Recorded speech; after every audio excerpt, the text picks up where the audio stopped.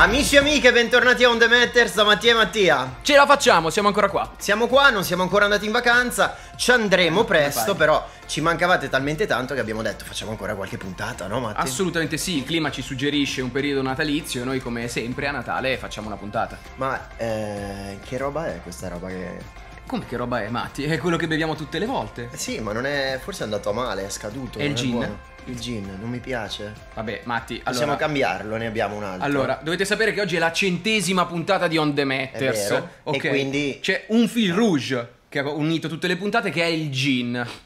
Cosa abbiamo pensato di fare quest'oggi? Cosa abbiamo pensato di fare? Dimmelo tu perché questo... Di bere finalmente un gin decente. Un gin buono? Sì, Mi ma hai no- fatto una sorpresa anche oggi. Ma certo, ma una sorpresa che non è solo il gin. Ti ho Ma portato veramente? una persona che ha creato un gin. Ma veramente? Ma sì. E allora la sorpresa di oggi è... Filippo Sant'Agostino. Eh, applausi. Ciao a tutti, ciao. Come stai? Bene, voi? Bene, Bene. bene, grazie per essere venuto. Che Grazie sorpresa. dell'invito. Beh, Che sorpresa, non me l'aspettavo. Grazie di essere qua. e, e allora eh, il gin, eh, che non è quello che sto bevendo. No, è quello che sto bevendo io, in ah, realtà, ecco, perché, perché quello ho- buono te lo sei Esatto. preso tu. Esatto, esatto. Ma concentriamoci su, su Filippo un attimo. Sull'ospite e sul suo gin. Esatto. Allora, io ho spoilerato il fatto che tu sia un creatore di gin. Sì, esatto. Allora, presentati un attimino come vuoi essere presentato, nel senso racconta un attimino chi sei e, e che cosa hai fatto. Perché sei qui? No, sono qui perché un po' di anni fa ho pensato che mi conveniva di più fare il mio gin che non continuare a comprarlo e quindi poi Eh.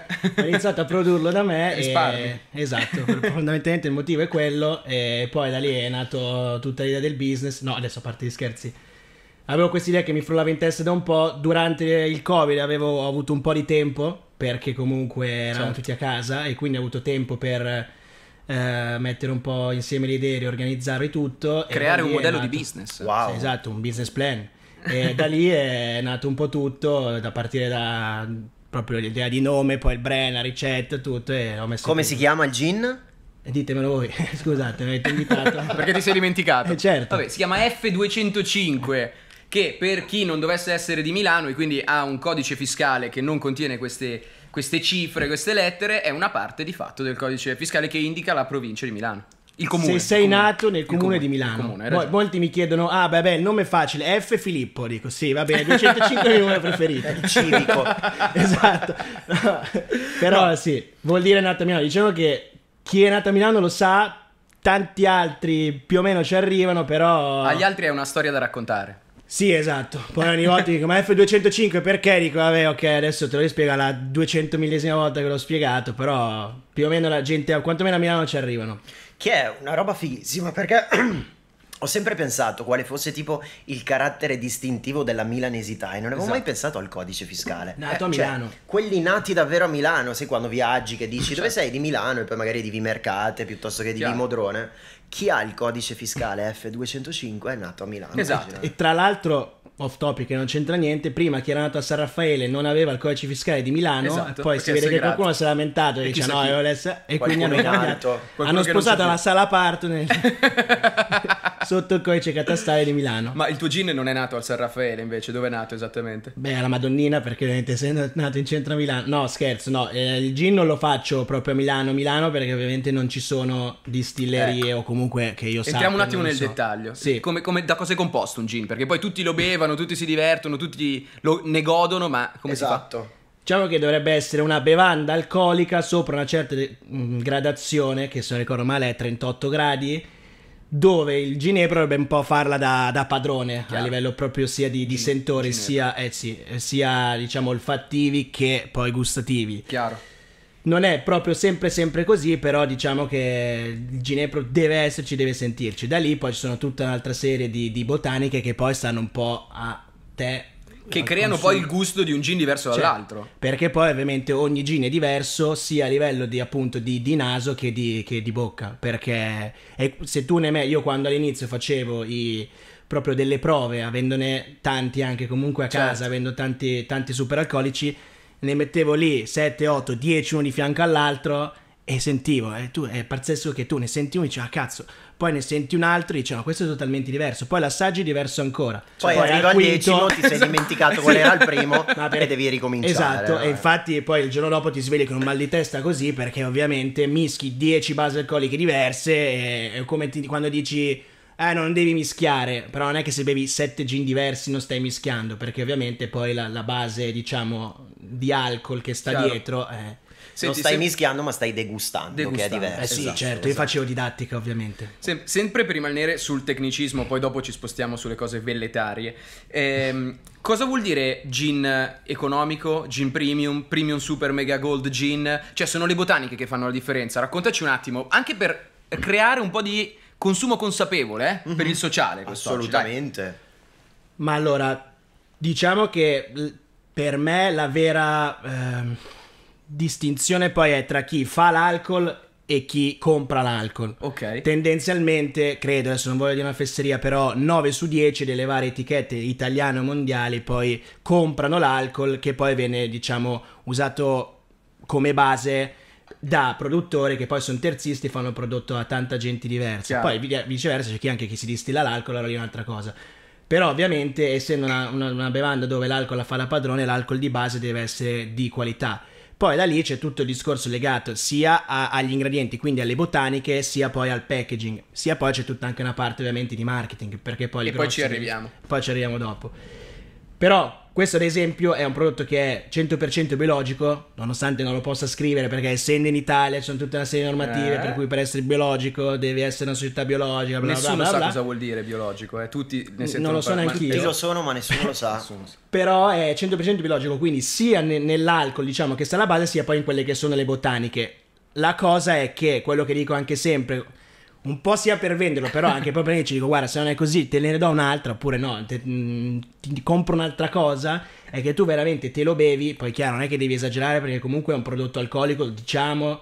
Non bere, guidare, Esatto. Bere- non guidare bene, non bere troppo, non bere in gravidanza, non bere se sei minorenne, tutto questo, facciamo il disclaimer. Però è che poi il giorno dopo tu ti svegli e sei fresco.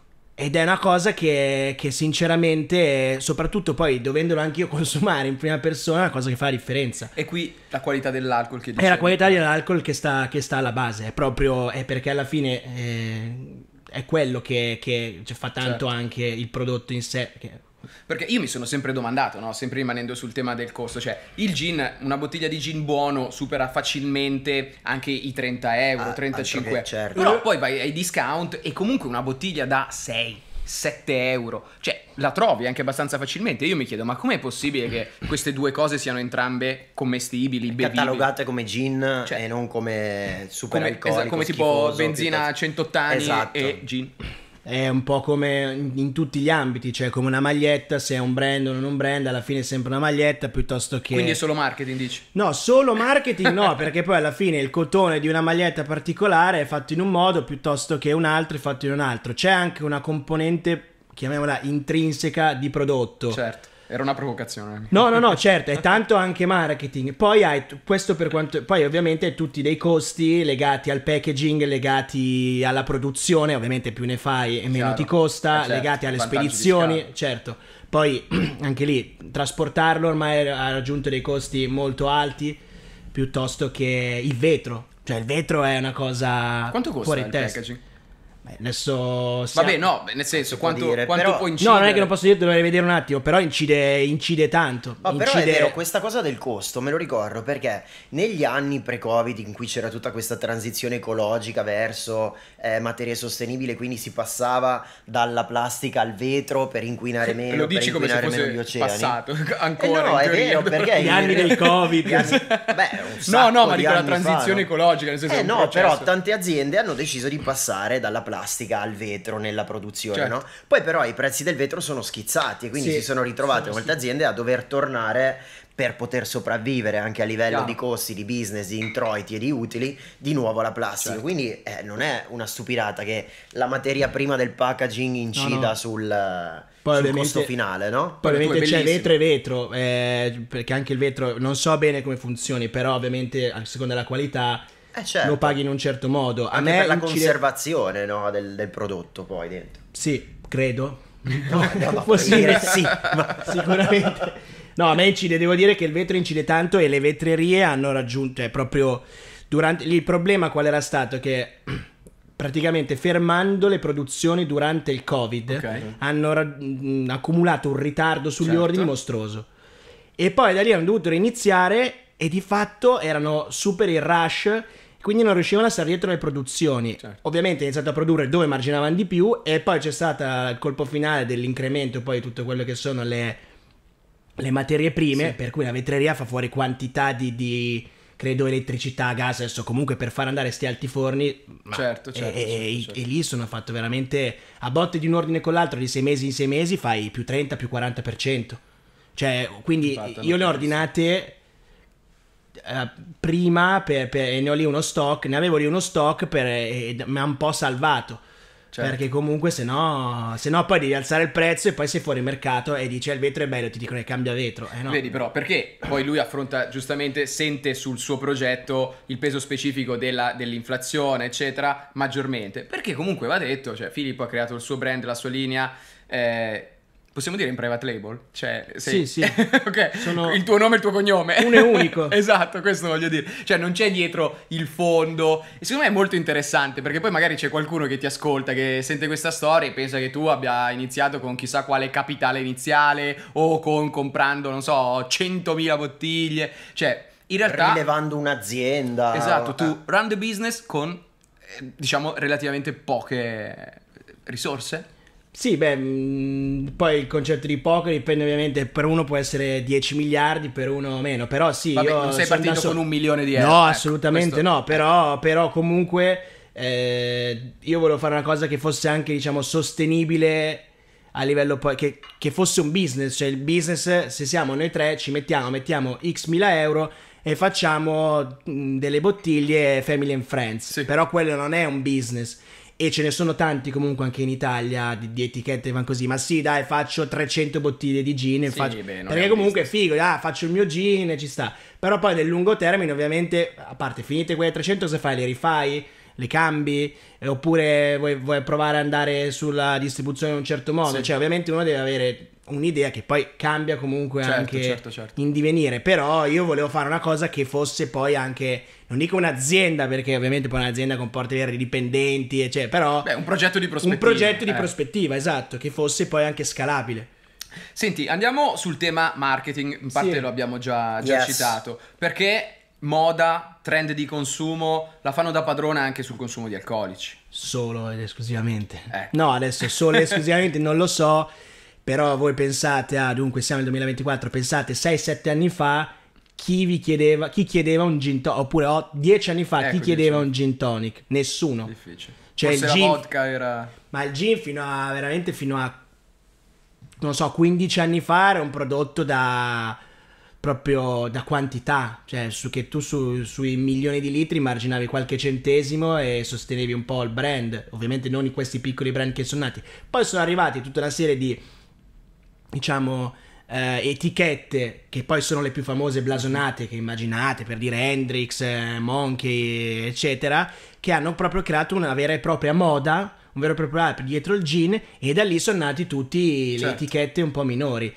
però che ovviamente poi per moda dice ah bevi gin tonic ah anch'io bevo gin tonic ah ma tu che gin bevi e io questo ah grande te ne intendi poi È un fine- consumo recente, quindi, quello del, del gin in Adesso generale. io non sono uno storico Ma del- non che non sia- non che non però sì, Beh, ci però- sono i precursori. Eh. Bombay, ad esempio, Bombay, eh, tutti quelli che denigrano Sì. Bombay, cazzo, ma Bombay, cioè, a parte che qualità-prezzo è Ottimo. ottimo. E poi comunque eh, c'era anni e anni fa e c'è ancora oggi e di fatto c'ha comunque la sua Certo. fetta importante di mercato. Certo. Quindi Allargando lo sguardo, uscendo un po' dal gin, il trend un po' di questi anni è anche delle celebrities è buttarsi sul mercato degli Sì. alcolici lanciando magari prodotti già fatti dove basta aggiungere il ghiaccio piuttosto che soft drink o drink leggermente Sì, alcolici già pronti da bere, no? no? E quindi secondo te perché? Cioè, al di là del gin, come diciamo adesso che magari è una moda che è diventato bere il gin tonic, perché è un mercato più facile in cui entrare, in cui è più facile trovare dei clienti?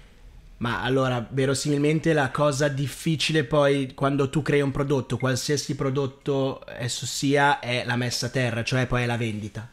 tu sfruttando il tuo fatto di essere celebrity, di avere già un seguito, ovviamente hai un bacino di mm, clienti prospettici eh, molto più ampio che io che lo vendo all'inizio magari ai miei Certo. amici o ai bar o alle enoteche che conosco. Quindi lì un po' sfruttando la loro immagine, la loro proprio notorietà, La hanno fan detto- base. eh certo, e sfrutti quelli, dici, ah questo è la tequila di George Clooney, piuttosto che questo è il gin di quell'altro, là, l'attore famoso, mi ricordo. si Però loro non è che sono Aviator. imprenditori, loro firmano una Sì, delibera mettono sulla loro, immagine. Sì, poi non so se hanno magari anche delle quote, credo abbiano anche proprio delle quote. Non credo che gli convenga più che altro. È tipo Fedez che ha non lo so. lanciato Bohem. O... Eh. Ah, boh, sì. Non, so, non so esattamente la ragione sociale di quel prodotto. Non, No, conosco le- il quella progetto. in lattina. Sì, non lo so. no, ma per la Bombir, per delle- esempio, quella di Bobo Vieri. Un Eh altro sì, esatto. mente. Lui- io non so se l'ha inventata Bobo, eh, non so se Bobo ci sente, magari ce lo scrive. Però adesso a parte gli scherzi, non so se è un'idea che è venuta da lui oppure hanno detto Bobo sfruttiamo la tua immagine e facciamo la Bombir. Esatto. Credo più la seconda, però ripeto, non lo so. E ma mh, che non avrebbe comunque nessun tipo di problema. Lo- penso che lo farei anch'io, cioè sono famoso, Certo, sfrutto la mia notorietà e, e qualsiasi brand alla fine fa questo per pubblicità. Quindi, Certo. però è nato, credo, un po' da lì. Senti, io ho tirato fuori qualche numero prima di questa puntata. Si snocciola. Così, nel caso non lo sapessi, siccome ci piace essere sempre data driven in quello che raccontiamo, il mercato italiano del gin nel 2023 è valso circa 80 milioni di euro, che non è una cifra spaventosamente alta. Questo perché... Quanti ne hai messi in tasca tu? No, Io Ah, no, 78. era- ok, ok. Bella, bella domanda, mi è piaciuta Bella. tantissimo. 78. Milioni. Vabbè, bene. Milioni. Ok. Bene, bene. Quello che mi veniva a pensare, ma non è una cifra tanto alta. E poi penso, e in effetti poi all'interno di un gin tonic che io pago a Milano comunque tra i 9 e i 15 euro in Eh, un posto più, più sui 15 Es- esatto, vabbè sì, vabbè, Cioè, ma più stiamo, range alto. stiamo tranquilli. Sì, la sì. quantità di gin è un'oncia all'interno della, della porzione, no? del, del- del Sì. bicchiere, che sono 3, 3 3 CL largo 3 CL, ok. 80 milioni di euro, in realtà se io considero quanto costa un gin, dovrebbero essere 80 miliardi. Sì, poi i bar e ristoranti tendenzialmente ti menzionano Eh. il costo per bicchiere, che cos'è? Il fatto che il bicchiere, quanto costa il bicchiere vuoto? Quanto Esatto. costa il bicchiere vuoto u- uscire? che poi no, vabbè, ho detto No, così, nel senso però- c'è, c'è un markup della Madonna sul Sì, gin tonic però- quando lo ordini al però bar. Devi, sì, però devi pensare a tutti quei costi annessi e connessi che ha un bar, il personale, l'affitto, le Certo. utenze. Quindi tu alla fine loro hanno un costo proprio per il bicchiere vuoto. Cioè, se fosse vuoto quel bicchiere, Sì. Certo. quanto dovrebbe costare per portarlo al tavolo a voi? X. Benissimo, da qui tu devi mettere dentro quanto costa poi il prodotto, quanto costa la tonica, che comunque se nell'ordine di 70-80 centesimi, un euro a bottiglietta, Ok. quindi comunque incide. E poi da lì ovviamente devono anche marginare, quindi da lì attacchi quello che è il loro margine. Certo. Poi è chiaro che uno dice, ma come fai? Cioè 15 euro un gin tonic, però certo che tu dici fai così e fai così, sì, però poi c'è il bicchiere in un certo modo, il ghiaccio in un certo modo, la tonica in un certo modo. E quindi anche poi proprio l'esperienza di bere un gin, poi certo che se l'esperienza è ti do un bicchiere di plastica, ti metti dentro i cubetti quelli che si sciolgono solo Certo. a guardarli Bravo, e la tonica ghiaccio. in bottiglia, Bravo. il ghiaccio è fondamentale. Fondamentale. Fondamentale. Oh, il ghiaccio deve bravo. raffreddare, non allungare. Diciamolo, il Cioè- ghiaccio deve essere privo di ossigeno. Come, come- qual è il ghiaccio quello bello? Beh, beh, quello bello, quando proprio lo vedi che è bello, che dici, eh, questo è un Quando non è bianco, quello trasparente, lo vedi dici, che poi stai, può star lì magari 4 ore ed è ancora quadrato o rettangolare perfetto, oppure quelli fatti a palla, oppure in, in certi bar, in certo tipo, magari hanno lì un blocco di ghiaccio da, non lo so, 70 kg, adesso non lo so, comunque grosso così, e si mette lì con lo scalpello e il martello ta, e ti staccano il ghiaccio. Sì, qua siamo più sul marketing sempre che su Ah, sicuramente anche quello, però alla fine è, è comunque No, no, chiaro, una cosa chiaro. che comunque È l'experience, Esatto, no? Anche come tu lo guarnisci quando te lo portano con la cupoletta con dentro il fumo. E quella cioè, lo, sono la che contro io tutte queste La contro? Sì, perché lì inizialmente il gin non lo beveva nessuno, creiamo la moda di bere il gin. Se non ti piace cosa fai? Mettici dentro qualcosa che ammazzi il gusto e beviti quello. Quindi il cetriolo, Ah, il giusto, rosmarino, capito. eh, otto fette di arancia e, e poi ci, quelli che ci mette dentro non lo so che cosa. E quindi alla fine tu vai a coprire Cazzo. Il gusto e lo rendi più Cioè, è quasi una, una tu dici è un alibi quella guarnizione, dice per È di nato fartelo- come alibi, sicuramente è nato come alibi. Poi, cioè, per me è una È scorza di come- limone deve esserci È dentro. Certo. come i ristoranti che mettono la panna nella carbonara per i turisti. Sì, È beh, ma io me la metto anche a casa la panna. No, vabbè, ma carbonara. questi sono gusti, Ecco, però per eh, questo- dire... No, che poi mi linciano. No, no, non la Cioè, metto. c'era qualcuno che stava ordinando subito il gin, sono aumentate le C'erano ricette. dei esatto. ristoratori romani che Ma io- stavano ordinando il gin milanese, no. Con la panna, Con metti la panna nel jeans. no? Esatto. Senti, dove vendi questo gin? Perché non lo vendi al supermercato? No, Non ancora. non ancora, ma non, sì, non credo che... Dove lo troviamo? Esatto. Ma io principalmente sono, adesso sono in, nel, nell'Enoteca Milano, devo dire che sono abbastanza coperto, cioè c'è in, in tante, nelle più rinomate Eh, sicuramente facciamo un paio c'è. di nomi, magari. Possiamo dirli i nomi, eh? Non Ma è adesso non vorrei che poi non no. ne cito altri, eh, però mi Se hai un mente- elenco, poi lo mettiamo tutto così. Sì, lo me- siamo allora facciamo che lo mettiamo eh. tutto in, in- però le, le- le più rinomate ci sono. Ok. E, e poi anche comunque in, in tanti bar o ristoranti. La cosa che tutti i barman mi hanno sempre. Io inizialmente volevo fare un prodotto più quasi da regalistica, cioè un, un prodotto che tu vedi in enoteca e lo vedi e dici, ah cazzo, bella la bottiglia, la compro. Certo. Poi ovviamente. Se il prodotto non è buono, la compri una volta Non e non la compri più. Ma soprattutto i barman che comunque fanno quello, come si dice, no, te me ste, l'assaggiano, adesso rimaniamo in tema, l'assaggiano e, e ti dicono sì, buono, ma ne ho qua altri 128, Sì. forse il tuo tienitelo. E quindi da lì poi ho unito un prodotto che fosse secondo me all'inizio, poi secondo chi l'ha assaggiato, buono e soprattutto bevibile e che tu continui a bere, perché tu alla fine questo continui a berlo, perché è anche molto beverino, un po' ruffiano per certi aspetti, no? Eh, E mi, piace, mi tu- piace questi È aggettivi. ruffiano, vero. anche a me Sì, piace del questo mondo del lager, storytelling. esatto. Sì, Sì, questo lo che rubate piace un po' al mondo del vino, che- anche che, come- che piace a tutti. come wording. Bellissimo. Senti, quanto conta il bartender? Perché io vado al bar, io vado in una gintoneria che non è una gintoneria, cioè vado in un posto qualsiasi dove fanno, magari hanno una selezione di gin e gli chiedo di consigliarmi. Sì, ok? certo. Uno di que- cioè a quel punto è il bartender che sta scegliendo. È una moda che si è un po' persa. Cioè, Sì, io ho visto allora, school, il mercato del gin negli ultimi. Ah, e poi ovviamente i, i brand più blasonati, e le multinazionali, ovviamente magari. se- Però stanno sentendo, sono sicuro anche loro questo. Sono sicuro nel senso perché lo so, però eh, questo, questo momento. Prima Sei, andava. sei qui per questo, perché sai cose che, noi, che gli esatto. altri non sanno. Esatto, che nessuno sa. che nessuno sa. No, a parte questo, eh, ah, prima andava tanto di moda, ma che gin hai, che gin mi consigli, cosa mi fai bere oggi? Perché ovviamente era una cosa che si stava anche tanto sviluppando, per cui ogni volta il bar aveva il gin nuovo da proporti. Ah, guarda, ho preso questo gin nuovo, eh, prova questo, prova questo. Poi lì sta sempre sia alla, diciamo, onestà del barman a non rifilarti o quello che deve Certo. finire, o quello su cui margine più, o quello del suo amico. Eh, perché poi Però fa parte comunque del gioco e oppure tu dici, senti, io so che tu sei un mio cliente affezionato, vieni sempre qua, bevi secco, ah, allora bevi questo, piuttosto che ti piace agrumato, bevi quest'altro. certo. E, Certo. e quindi da lì uno prima si faceva tanto più consigliare, ovviamente poi uno magari dopo un po' che si è fatto consigliare 8 volte, 18 volte, dice vabbè a me piace questo, dammi questo. E quindi avendoli anche magari Chiaro. provati nel tempo, perché comunque è una moda che è avanti, che sta finendo, credo, purtroppo. eh, però anche lì io ho cercato di fare un prodotto che a uno che piace il gin continua a berlo. I vari gin, senza, però è al cioccolato, al tartufo, alla fragola, tartufo, all'aragosta, alle formiche. Una volta che Ok. ce n'hai tu una bottiglia, bella, però se la moda passa e va su altro, vedi Sì. tequila, mezcal, che è il trend un po' ultimo. eh, esatto, quello più recente.